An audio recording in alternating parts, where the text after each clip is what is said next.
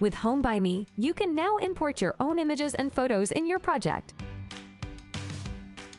Here we go. I'll show you right away. In the HomeByMe library, first make a search for customizable frames.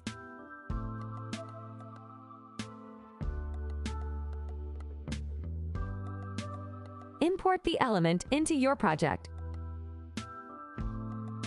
Then click on Edit and click on Images. Then click on Import an image and select the image of your choice from your device.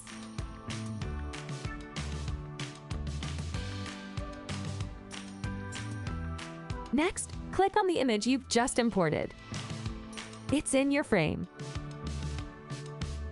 You can, of course, change all the dimensions and import images ad infinitum in your project.